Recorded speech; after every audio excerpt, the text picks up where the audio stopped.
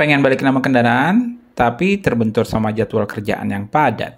Solusinya buat surat kuasa aja. Begini caranya buat surat kuasa untuk ngurus balik nama kendaraan tanpa harus datang sendiri ke kantor Samsat.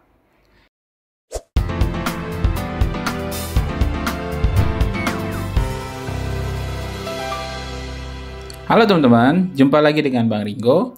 Di video kali ini, gue akan memberikan contoh surat kuasa balik nama kendaraan bermotor. Surat kuasa ini penting buat kamu yang ingin mengurus balik nama kendaraan bermotor tanpa harus hadir langsung ke kantor Samsat.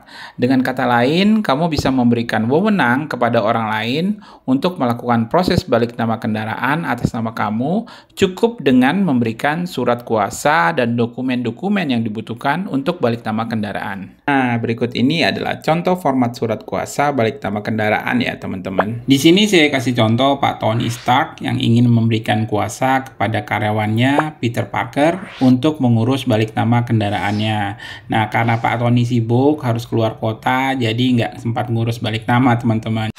Nah, di dalam surat ini e, mencantumkan hal-hal berikut. Yang pertama, nama dan identitas pemilik kendaraan. Dalam hal ini Pak Tony Stark seperti tempat tanggal lahir, alamat, nomor KTP, kemudian e, nama dan identitas Peter Parker selaku penerima kuasa, kemudian? Tujuan surat kuasa ini ya di sini contohnya untuk melakukan pengurusan balik nama kendaraan bermotor pada tanggal 14 Juli 2024. Nah, ini kalau bisa dijelaskan sedetail mungkin ya, teman-teman. Kemudian di sini ada detail dan spesifikasi motor seperti nomor nomor plat kendaraan, merek kendaraan, warna, tahun pembuatan, nomor mesin dan nomor rangka.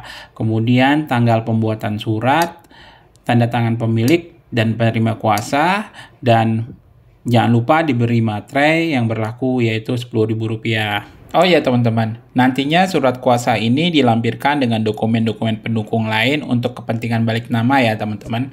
Jadi jangan lupa KTP asli pemilik dan penerima kuasa juga ikut dibawa pada saat proses balik nama.